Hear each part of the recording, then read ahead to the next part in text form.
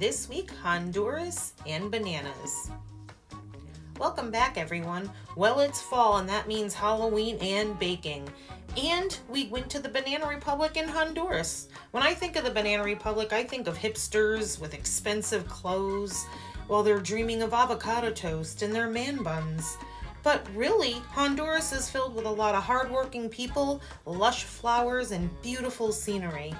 I know that this time of year we also argue about what the best baking recipes are, but I like bananas for my ingredients, so I went with a Honduras banana bread.